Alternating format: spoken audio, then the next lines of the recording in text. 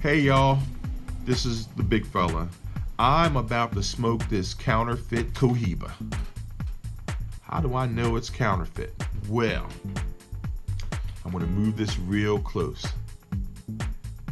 Take a look. Oh, you see that C? How that gold is touching the top of that band? Baby, that's a sure sign of some counterfeit activity going on. Okay? Let me keep rotating it here. Oh, do you see that B filled in?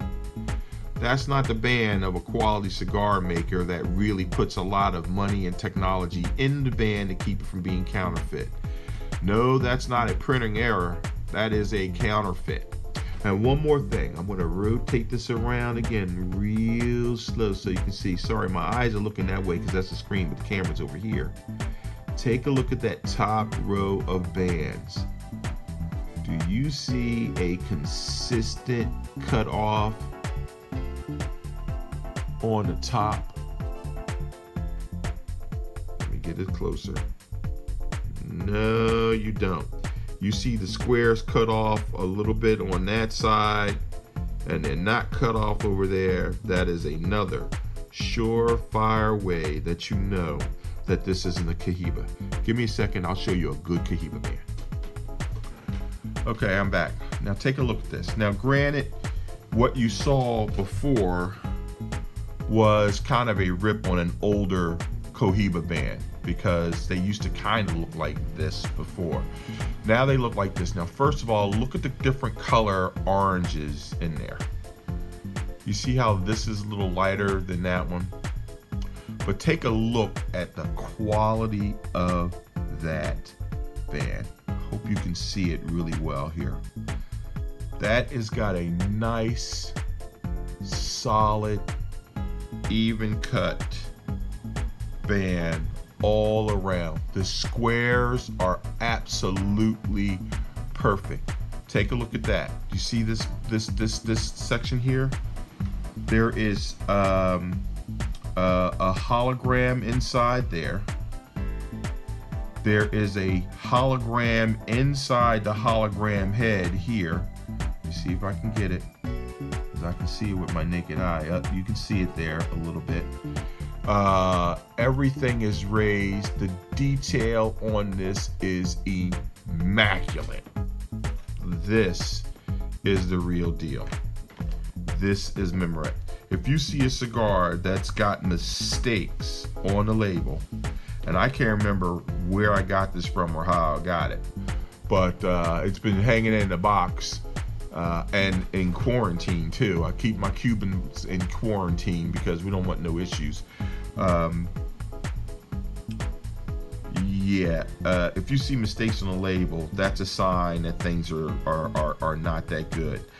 Uh, Cohiba has to, and uh, uh, and all these other companies have to put quality in the band. If you think about the changes in the dollar bill over the year with the little strands in it and all, and and uh, using the markers and and all the different ribbons and things like that in there, all of that is technology to help stop counterfeits. Well, because these are so heavily counterfeit, they've had to do the same thing. They got to put the technology in the band. The cigars is good, but they got to put their technology in the band so that you know you're getting a good quality quality cigar. Let me show you some other uh, cool things with some some neat bands.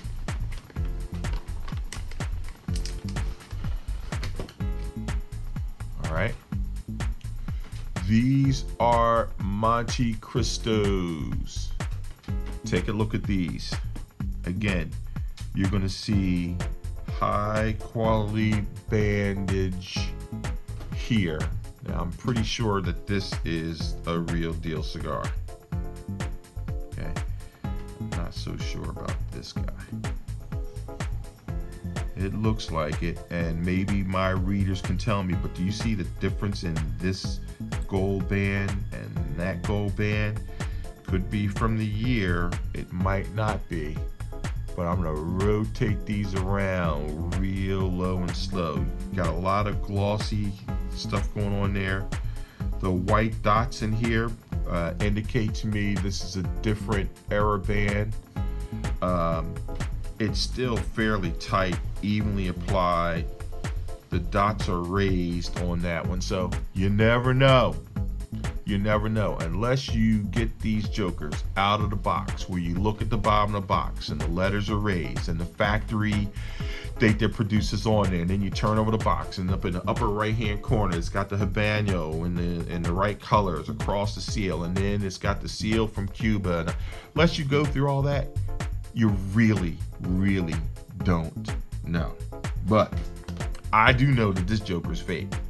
I'm gonna clip it I'm gonna smoke it and I'm gonna find out how fake it is.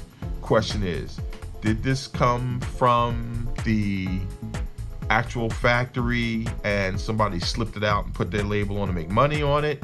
Or is this uh, some cigar that's made someplace else that they slapped the band on it? Believe it or not, some of the fakes I've had taste pretty good. They're just fakes. So, word to the wise look at your band, do some research. There's plenty of sites online, especially with Cigar Aficionado, that give you some insight on what is a good band and what is a bad band. Listen, until something happens with the embargo, we got to do what we got to do. But let the buyer beware. Uh, if I'm fooled, guys that have been better than me at doing this have been fooled. Peace out.